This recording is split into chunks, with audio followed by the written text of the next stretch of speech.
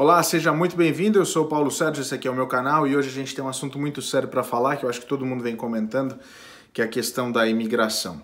Mas assim, diferente do que todo mundo comentou, que é sobre um vídeo que foi publicado pelo Roger é, equivocadamente, como se fosse um vídeo novo. Esse vídeo era um vídeo de agosto.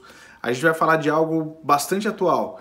Um documentário que foi lançado pela BBC, na realidade não é um documentário, é uma série de reportagens e uma das reportagens que é, é tratado nessa série sobre o primeiro ano do mandato do Trump é justamente sobre a questão da imigração e a questão das batidas, do ICE, a repressão aos imigrantes e tudo mais. Então se liga porque está começando mais um vídeo novo para vocês.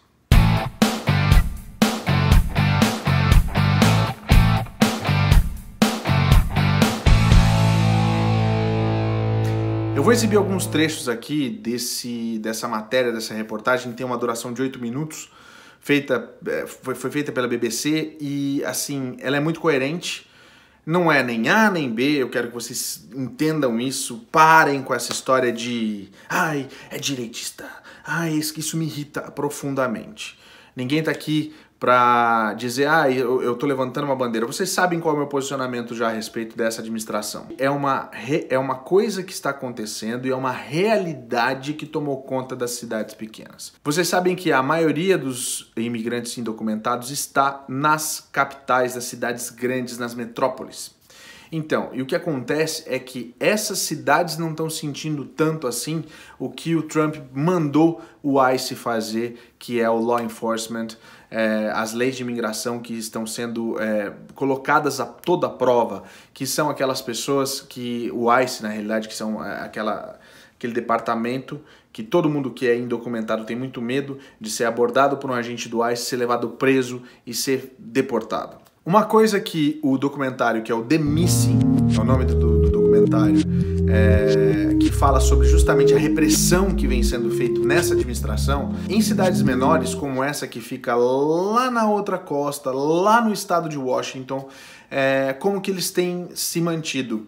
Nos depoimentos, inclusive depoimentos de autoridades da cidade que não votava num candidato republicano desde 1952, é, eles relatam que as pessoas começaram a desaparecer.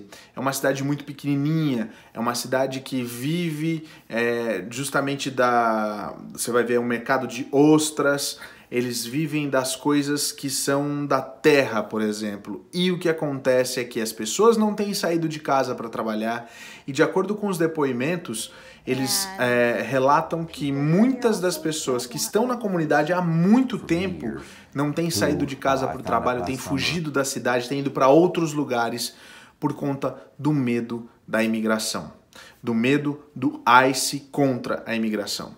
O que acontece é que o ICE não trabalha com o departamento de polícia da cidade e muitas vezes, de acordo com o xerife, o que acontece é que uma pessoa querida da comunidade acaba sumindo e eles não sabem se foi presa pelo ICE, deportada ou se ela realmente está desaparecida. So sometimes we've had cases where maybe somebody is missing and we don't know if they were taken by ICE or if they're actually a missing person. Essa realidade dessa cidade, ela reflete em outros pontos do país.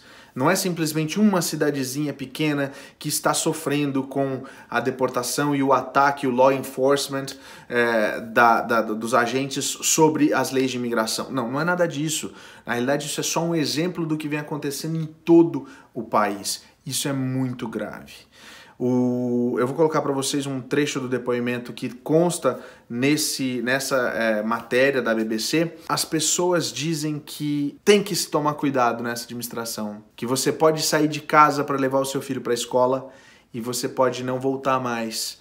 E inclusive na escola, e você vai ver um trecho de crianças comentando que amigos que estudavam juntos também desapareceram. We've lost about 25 students. We're a district of just a little over a thousand kids, so for a district our size, it's significant. Praticamente uma sala de aula inteira deixou de existir numa escola como essa. Essa educadora diz que na realidade é um pouco complicado para explicar para as crianças que aquela carteira vazia, o coleguinha foi mandado de volta para casa porque era um imigrante e porque não estava legal no país. O que, que a gente reflete com tudo isso? Será que essa é realmente a ideia que esse presidente tinha para você que é imigrante, para você que pode sofrer com essa situação? É isso que vai resolver, porque essa cidade hoje sofre com o problema da economia. O empresário diz a plenos pulmões que ele não tem mão de obra suficiente para a demanda na fábrica que ele tem de ostras. You, you literally cannot replace them. We've gone down to Fresno, we've been down to Arizona to see if we could entice other pe people to come into the area to work and it's it's just it's not real successful. Outras pessoas não conseguem encontrar a mão de obra necessária e capacitada para poder colocar no lugar das pessoas que desapareceram. Esse professor que aparece agora aí para você, que é o professor Mário, ele foi praticamente preso enquanto voltava das aulas, da, da, sala de aula em que ele estava trabalhando, passou no, no, no post office, passou no correio e quando uma pessoa chamou pelo nome dele, ele foi é, simpático, deu a mão, estendeu a mão e ali ele tomou voz de prisão de que ele era imigrante, a pessoa ainda disse para ele assim: Você sabe onde você está, você sabe o que você está fazendo, e ele foi preso. Ele só está solto nessa reportagem porque ele pagou uma fiança, ele está solto esperando um julgamento que os amigos, inclusive esse oficial, acredita que ele pode simplesmente ser mandado de volta para o México. E o questionamento é o seguinte: o que melhorou na cidade e nessa administração com a deportação de pessoas como esse professor. I mean, he's somebody that you'd want to have in your country. He's somebody that's going to is adding to, in a very positive way, our community. And you cannot tell me that our community is better off or that the United States is better off because Mario has been shipped back to Mexico. Esse professor acredita que na realidade todos nessa administração vão ter como alvo os imigrantes indocumentados com ficha suja, criminosos. Mas não é isso que na prática vem acontecendo.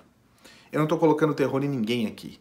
Eu não estou aqui e eu sou muito contra isso, vocês sabem disso. Eu estou simplesmente aqui mostrando que em um ano de administração a banda não toca exatamente como aparece na televisão. Como a Casa Branca conta na televisão, como presidente dos Estados Unidos conta na televisão. E alguma coisa tem que ser feita. E eu queria muito que vocês comentassem e debatessem esse assunto agora aqui nos comentários aqui embaixo. Se você realmente está afim de conversar mais comigo, você pode acessar o link que tem aqui na descrição, que é o link do nosso grupo de WhatsApp. Você pode também compartilhar esse vídeo com pessoas que você acha que necessitam ouvir isso que eu estou falando. E ainda assinar o nosso canal, caso você ainda não faça parte da nossa família, e também ativar o sininho das notificações. Gente, eu sou Paulo Sérgio, direto de Orlando eu vou. Mas assim que tiver alguma novidade, eu tô de volta. Um beijo no coração de vocês. Até a próxima.